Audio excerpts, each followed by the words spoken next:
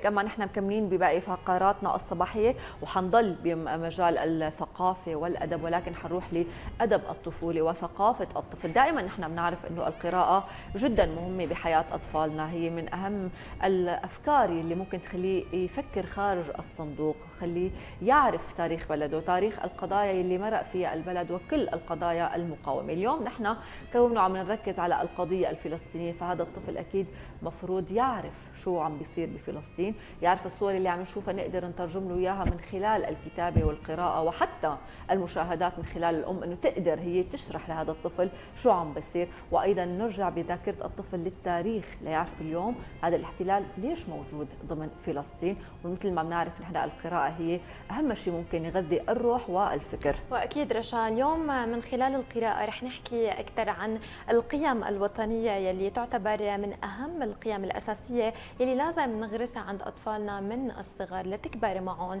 هذا الانتماء للوطن هذا الحب للوطن لتشكيل هويتهم وأسهامهم بخدمة الوطن. أكيد كل هي الأمور من خلال أدب الأطفال يلي رح نحكي عنه اليوم يلي عم بخاطب عقول الأطفال اهتماماتهم أفكارهم وأعمارهم. وعم جاوب على كثير من الأسئلة صحيح. والاستفسارات يلي بتهمهم والأكيد إنه بلغة جدا بسيطة وبطرق عديدة. نحكي أكثر مشاهدينا ضمن مساحتنا التالية عن هذا الموضوع بسعدنا انه تكون معنا لليوم الكاتبة سميرة شكر المتخصصة بادب بأدب الأطفال. يسعد صباحك. صباحك أهلا وسهلا فيكي. صباح الخير واهلا وسهلا بحضرتك. وقت بنقول الأدب نقول طفولة. خلينا هيك نرجع نحن بذاكرتنا. مرقنا كلها. اليوم مين منا يعني كل اليوم حدا بيسمعنا ما مرقت معه أو ما في بذاكرته لهلأ فلسطين وداري وأرض انتصاري للشاعر سليمان العيسى. كنا أطفال. هاي القراءات خلتنا نتثبت بهي القضية فكبرنا عليها وظلت بذاكرتنا القصيدة مع اسم الشاعر. يعني كان مهم نحن نحفظ اسم الشاعر أكثر ما نحفظ القصيدة لنعرف هذا الأدب من مين. فاليوم هذا الأدب هو رسالة وهي مهمة على عاتقكم كمثقفين اليوم. خلينا نحكي قد مهم اليوم بحياة الطفل لتعزيز الهوية الوطنية؟ طبعا القراءة وهي الأشعار القديمة مثل ما قلتي القصائد الشعرية اللي نحن تربينا عليها. عفوا. لازم نرجع نذكر أطفالنا فيها. لازم حتى بمدارسنا نرجع نذكر أطفالنا بهي القصائد نحكي لهم عن مكانة فلسطين التاريخية ومكانتها الدينية حتى مكانتها الجغرافية حتى نقدر نشرح لأطفالنا ليش عم بيصير بفلسطين هيك؟ ليش فلسطين دائما هي المقصودة بهي بهي الأحداث وبالاحتلال الصهيوني؟ فنحن دائما حتى نحن ككتاب مسؤوليتنا بكتابة القصص وكتابة أدب الأطفال نرجع لهي القضايا ونكتب عنها نعزز مثل ما قلتوا إنه حب الأرض حب الوطن. الانتماء للوطن العربي عند الطفل. للأسف نحن كثير أطفالنا بهذا العصر بعاد عن هي القضايا وبعاد عن هي عن هي المواضيع بسبب انشغالاتهم بأشياء ثانية بمواضيع ثانية اللي عم تنطرح على مواقع التواصل الاجتماعي. فلازم نحن قبل هذا الوقت يعني هل هو هذا الوقت ما تأخرنا بس حتى من قبل نحن كنا لازم نرجع لهي القضايا ونذكرهم فيها. تمام. خلينا نحكي اليوم الحرب يلي عم تكون على أهلنا بفلسطين وقطاع غزة. يوميا عم نشاهد مشاهد جدا مؤلمة مشاهد دموية إن كانت عبر تلفزيونات أو كانت عبر مواقع التواصل الاجتماعي. واليوم عم نركز على فئة الأطفال. هدول الأطفال يعني فئة حساسة جدا. كثير لازم ننتبه شو عم يتابعوا. واليوم بتلاقي أي طفل بعمر صغير صار بيعرف بكثير من الأحداث من خلال الموبايل. طيب خلينا نحكي اليوم كيف نحن ممكن نتعامل مع هدول الأطفال يلي عم بيشاهدوا هي المشاهد المؤلمة يوميا. آه تماما. هلأ آه بنرجع هون لدور القراءة. حتى القراءة حتى للأم مفيدة. لازم الأم يكون عندها مخزون ثقافي تقدر تشرح للأطفال آه شو عم يشوفوا. هلأ أنا ما بحبذ إنه آه بدنا نداري الأطفال. ما بحبذ إنه بأعمار صغيرة خاصة من عمر 3 ل 6 سنوات إنه يشوفوا هي المشاهد. آه يعني بدنا نحاول إحنا قدر المستطاع من الأهل إنه نبعدهم عن رؤية هي المشاهد أو الحكي فيها بالبيت خلال تواجدهم.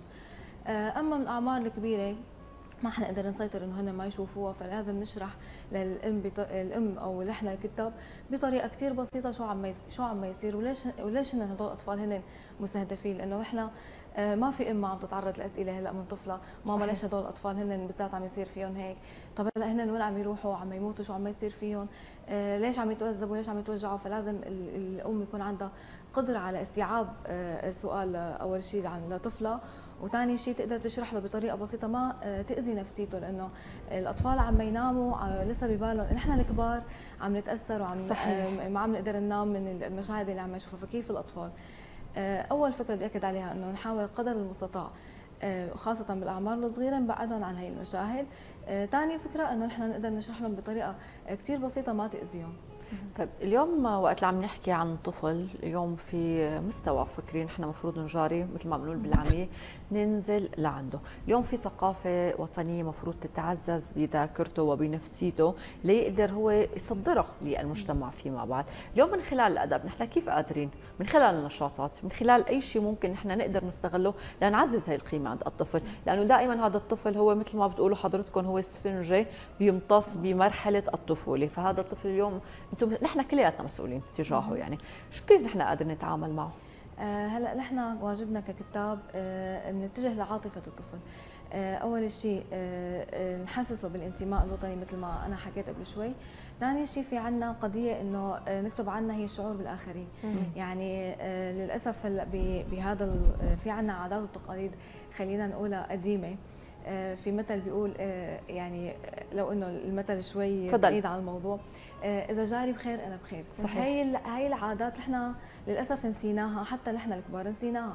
يعني لازم يكون قبل ما نحكي عن القضية الفلسطينية نحسسهم بالشعور بالآخرين. أنا إذا عندنا جار تعبان جار مريض عندهم آه، حالة حالة وفاة نحترم حزن غيرنا نحترم أحزان الآخرين ونشاركهم حتى نحترم أحزانهم ونشاركهم أفراحهم. أكيد. يعني مثلا نعلم أطفالنا إنه آه، نحن ما بيصير إذا جارنا تعبان نعلي صوت التلفزيون أو نحن نعمل ضجيج ببيتنا. آه، نحن نزوره نطمن عليه.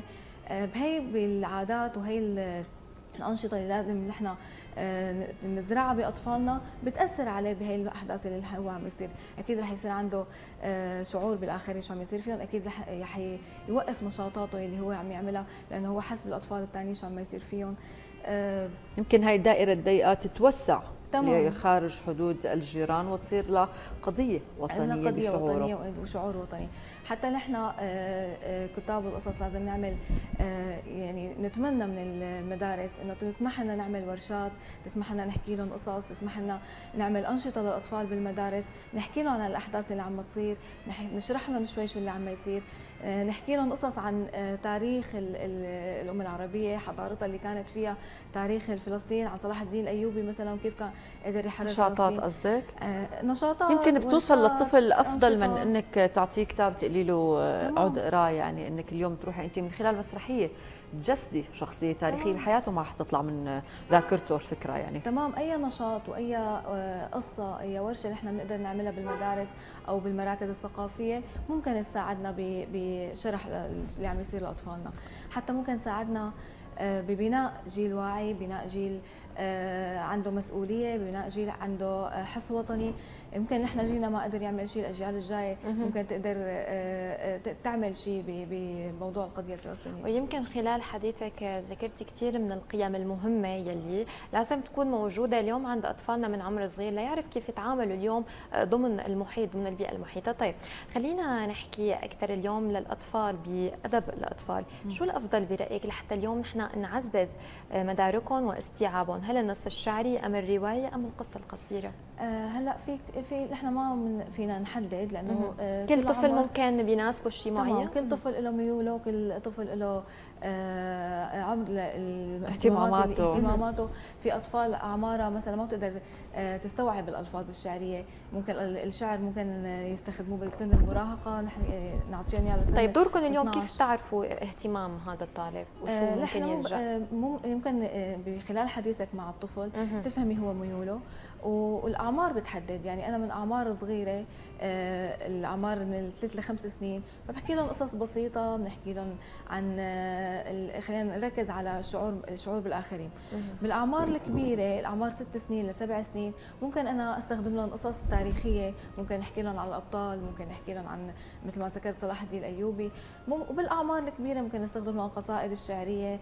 آه، نحرك العاطفة عندهم أكثر لأنه هذا العمر أصعب عمر من 12 ل 14 أو 15 سنة سن المراهقه هو أكثر عمر ممكن نحن نتعذب معه لأنه آه، بحير فما بتعرفي ممكن تشتغلي على عاطفته ممكن يكون في شغلات لا هو آه، النشاطات أكثر آه، وبيكون عنده أسئلة كثيره اليوم تمام. صعب يمكن الواحد يعرف يجاوب عليها. إيه تماما بالذات انه إنه هو سن مراهقه تمام. صعب إيصال الفكرة صعب يعني. الشغلات اللي عم يشوفها أكثر طيب سميرة اليوم نحن عشنا ظروف جدا سيئة بالسنوات الماضية كسوريين واليوم عم نشهد التطورات اللي عم بتصير بالقضية الفلسطينية اليوم.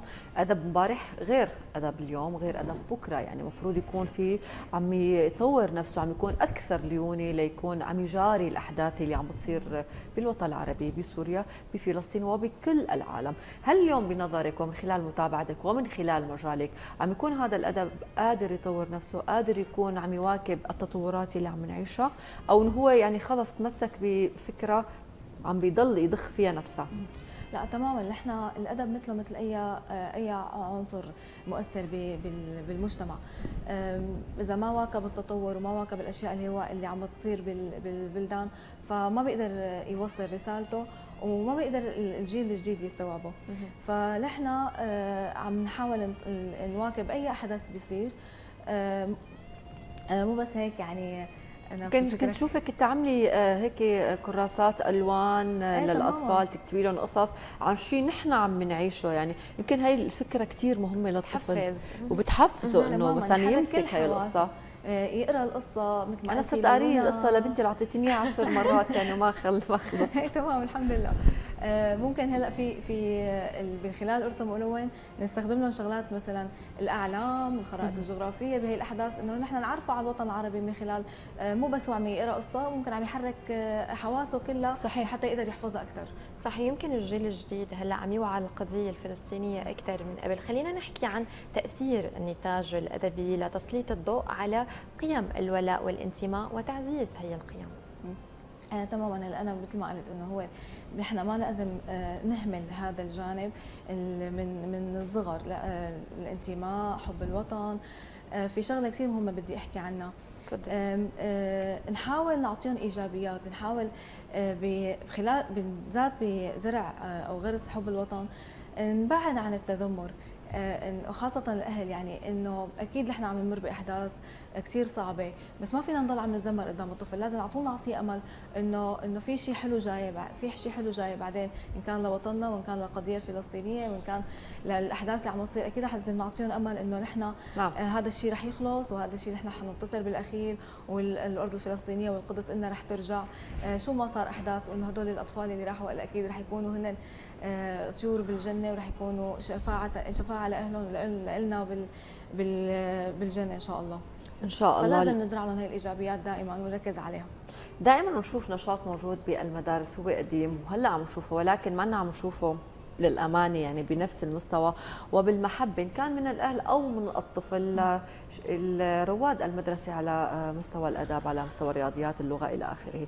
اليوم قديش مهم تفعيل دور هذه هي النقطة بالأدب بالشعر خلال المرحلة اللي نحن عم نعيشها أه هلأ لحتى أقدر أنا أه أه فعل دور الادب وفعل دور القصص وفعل دور الادب الطفولة بالمدارس.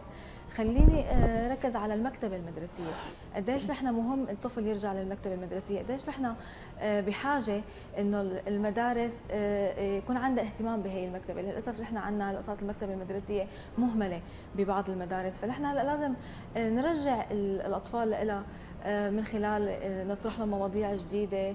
آه، نزين المكتبة المدرسية حتى يكون لهم رغبة بإنه انه يجوا نغير مواضيع الكتب. نعمل فيها نشاطات نعمل فيها مثل ما قلتي إنه كتب جديدة لأنه الكتب القديمة ما عاد يرغبها هلأ حتى خلينا مو غلط إنه نحط روايات للناشئة بالمكتبة المدرسية. حفزهم على فكرة الرائد على مستوى القطر بمجال الشعر بمجال التعبير عن القضية الفلسطينيه بمجال ثقافي بمكان ما يعني. عم نشوفها ولكن مو مثل زمان يعني كل شيء تغير حتى بهي النقطة. إيه للأسف. هو الاكثر حجتنا بتكون بالوقت إنه نحن ما عندنا وقت دائما نحكي لطفلنا ما عندنا وقت نقرأ له ما عندنا وقت.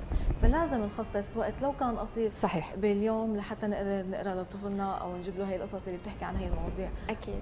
هو دائما بنقول إنه الأطفال والشباب هنون صورة عن المستقبل وهنون عماد المجتمع ودائما لازم نزرع فيهم من عمر صغير كل هي القيم الأساسية لحتى يكونوا أشخاص فاعلين ومنتجين بالحياة شكرا لك بالأيام الجاية إن شاء الله. أكيد. شكرا لك سميرة لحضورك اليوم لكل المعلومات اللي ذكرتها. نتمنى اليوم دوركم يكون موجود على الأرض. وبنتمنى نرجع نشوف الأشعار القديمة تبع الصف الأول اللي نحن هلأ فقدناها. إن كان بالاشعار الوطنية إن كان بالاشعار كنا نقراها بشكل عام. اليوم أي حدا بيفتح المنهاج الابتدائي رح يشوف إنه هي تم الغائها من ضمن هي الكتب. نرجع لهي الثقافة لأنه يمكن نحن ربينا عليها وضلت بذاكرتنا لهذا الوقت. اليوم أطفالنا بضمن هذا التطور وبضمن هذا الغزو الفضائي اللي عم نعيشه بحاجة لهي الثقافة ترجع تتعزز عندهم. شكرا لك سميرة.